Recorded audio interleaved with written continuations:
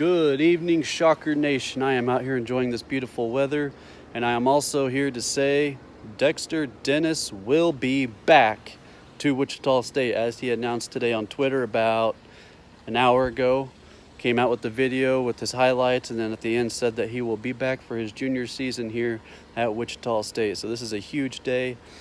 And then again, he's going to help this team out. This is going to be a tournament team with Alterique Gilbert, the grad transfer from Connecticut coming in, Morris Udeze coming back this year after he transferred and then decided, oh, wait, I'm going to come back. So he'll be back.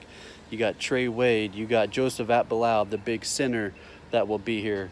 You got Clarence Jackson. You got a couple of other recruits that are going to be here that are very highly recruited players.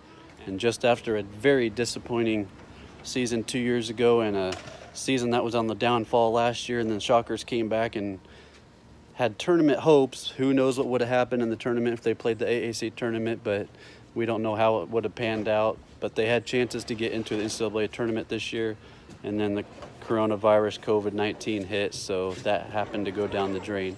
But I am, as a Shocker fan myself, I'm very excited about this. Dexter Dennis is back. Shocker Nation should be happy. I know my son is happy. When I told him, he went hooray, although he doesn't know what's going on, but it's just a hooray from him. So, Shocker Nation, stand up tall, shake your fist. We'll be ready to cheer on the Shockers this year with Dexter Dennis being back in the starting lineup. Please like and subscribe to our pay, to our YouTube channel for more videos, and we will see you guys next time. Shock on.